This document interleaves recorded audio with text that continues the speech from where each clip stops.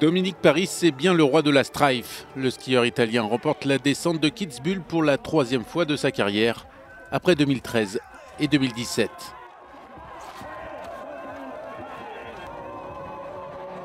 Un exploit sur l'une des pistes les plus sélectives du Grand Cirque Blanc. Seul l'immense Didier Cuche a fait mieux avec cinq succès dans la station autrichienne.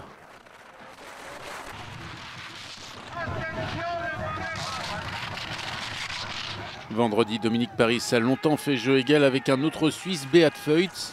Pour la deuxième année consécutive, le Bernois s'est vu inscrire son nom au palmarès de Kitz. Mais une nouvelle fois, il termine deuxième, surclassé dans le bas du tracé. Feutz reste quand même leader du général de la discipline, 100 points devant Dominique Paris.